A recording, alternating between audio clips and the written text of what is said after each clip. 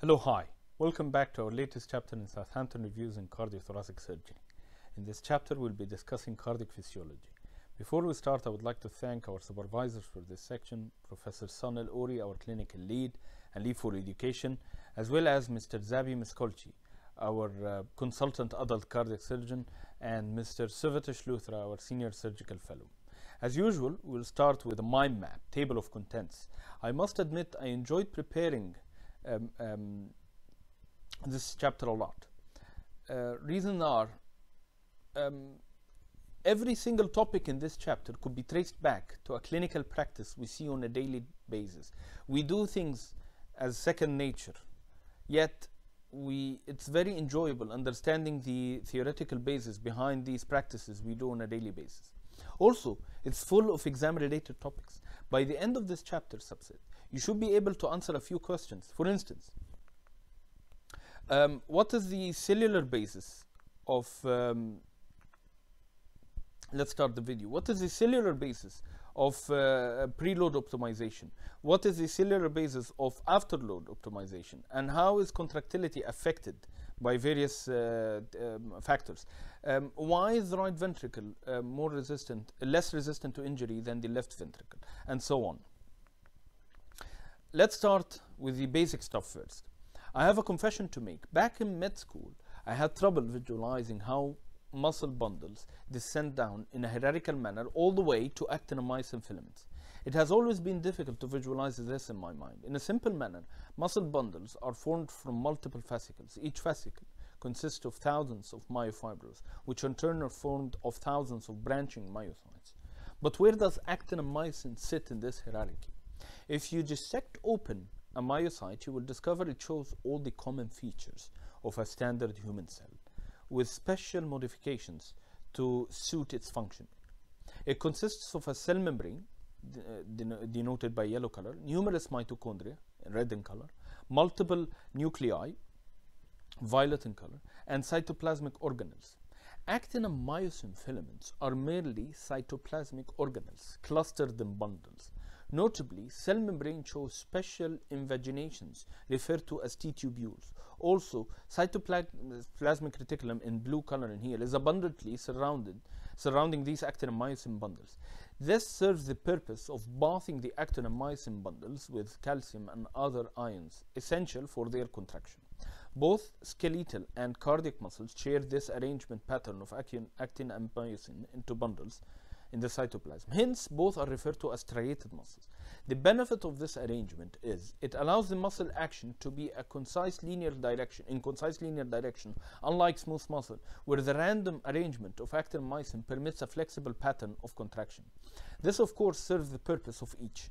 The myocardium, however, exhibits a unique uh, uh, branching nature of the myocytes. They are connected together with specialized areas referred to as intercalated discs. This enables the whole myocardium to act in synchrony, driven by the leading pacemaker controlling all muscle cells simultaneously, which is located in the sinoatrial node. Now let's look into the sarcomere. This was described by the German scientist Antonio van Leeuwenhoek sarcomeres extend between uh, uh, two distinctive perpendicular discs referred to as Z line. Z here stands for Zwischenscheibe or in between disc or separator disc uh, by the German language.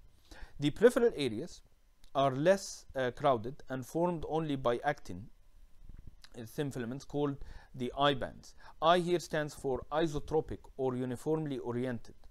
Centrally resides a denser uh, area formed of both actin and myosin filaments intercalated together, hence called A bands. A here stands for anisotropic or non-uniformly organized. In the midline lies, uh, lies a, a, region of uh, pure myosin filaments referred to as H zone. H here stands for heller or brighter in German language. In the midline lies another distinctive perpendicular disc referred to as M line. M here stands for Mittelscheibe or midline disc in German. A fairly recently discovered elastic protein referred to as the titin or in Greek this stands for the giant thing traverses the length of the sarcomere can, as you can see here from uh, Z lines to M lines all the way to here and behaves like a spring structure inside the muscle cell accounting for the slingshot-like action of the sarcomere. It, it, it rebounds. It has only been discovered in the early 80s. It is interesting to know that the Titin proteins are considered the longest known proteins in terms of the amount of a- amino acid sequences. The reason why we are emphasizing on it, it will serve a purpose later on during the, uh, the chapter uh, by understanding how preload optimization happens. Um, next, let's have a look at, um, um, uh, let's plunge further into the ultrastructure of the actin and myosin. We'll find a unique interaction referred to as the cross-bridge cycle. Essentially, it uh, refers to, um, essentially, it all starts with binding of calcium troponin C.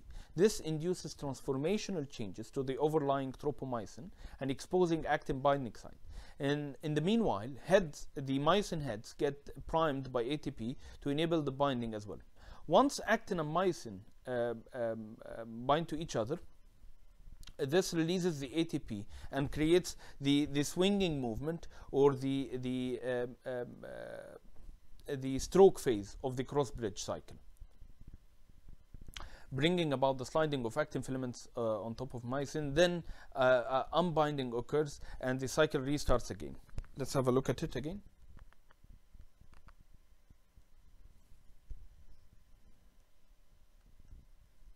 As you can see,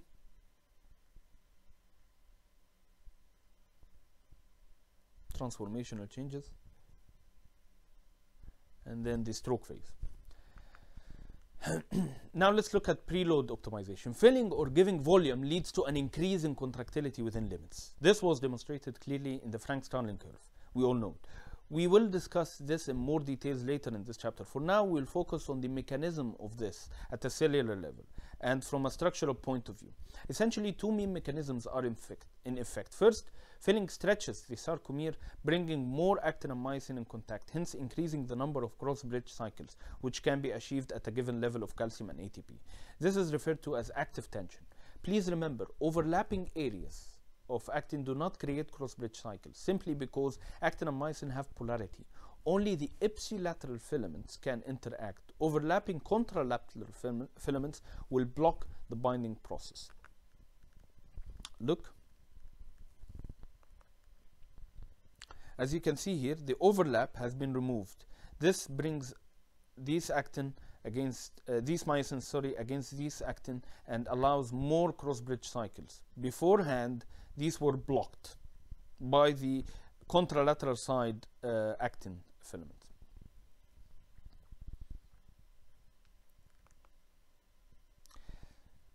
Second is stretching of the titin. As you can see here, filling stretches the titin to its extent, and this creates a slingshot um, action, which increases the force of the uh, contraction. By these two mechanisms, preload optimization brings the uh, muscle or the sarcomere at its uh, most efficient state where it can produce the maximum contraction. Let me bring that back.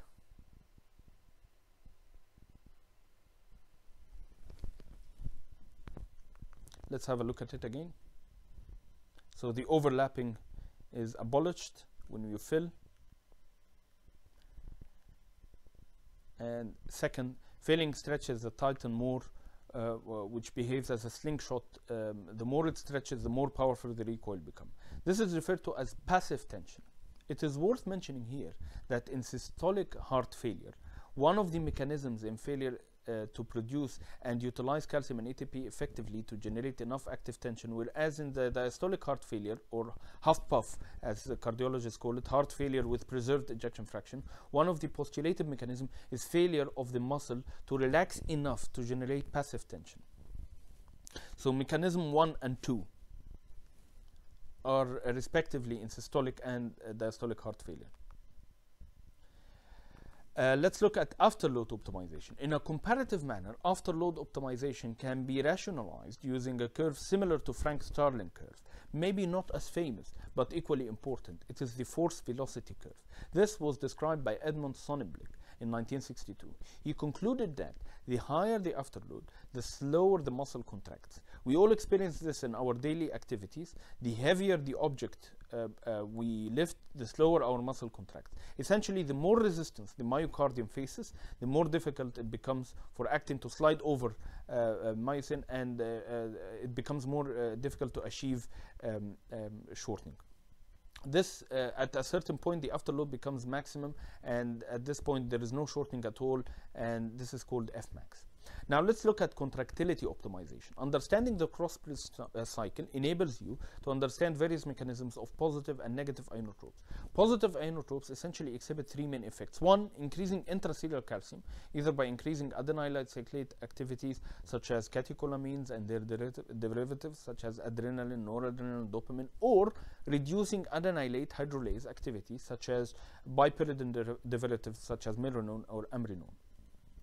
The second mechanism is increasing troponin affinity to calcium by reducing its binding coefficients, such as levosimendan and theophylline. Three, increasing myosin heavy chains, such as the thyroxine. In negative ionotropy, on the other hand, there are three other mechanisms, for instance, decreasing intracellular calcium by either decreasing adenylate cyclase activity, such as beta blockers, or directly inhibiting calcium uptake, such as calcium channel blockers. Two, reducing troponin C2 calcium binding affinity, such as all volatile anesthetic gases. Three, affecting energy expenditure, such as sepsis, hypoxia, and um, acidosis. Um, finally, we would discuss the uh, intercalated discs. One of the postulated mechanisms or postulated reasons why the RV is, uh, is um, more vulnerable than the LV is the less number of myocytes leading to less number of intercalated discs which maintains not only electrical coupling but mechanical uh, coupling as well. I think the demonstration video here explains it all. So as you can see here all um, myocytes are connected together via specialized uh, connection points called the intercalated discs. These um, uh, discs have both mechanical coupling area denoted by the orange color in here as you can see. That is referred to as the macular adherens or the desmosome there is also the fascia adherens, that is the black part in here, as you can see. It also contributes to the mechanical stability.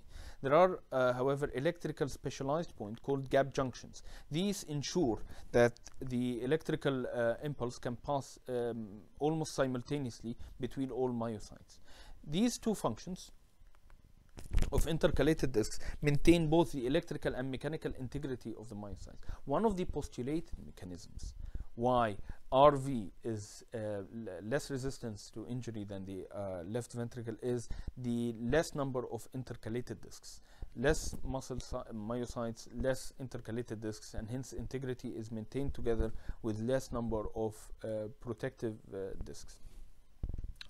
Um, this concludes uh, this chapter. I hope I managed to um, um, introduce you to some of the no, uh, no, um, theoretical basis of uh, our day-to-day -day activities and uh, hopefully this uh, chapter will also enable you to answer a few of the MCQ questions which come now and then um, every now and then in the exams.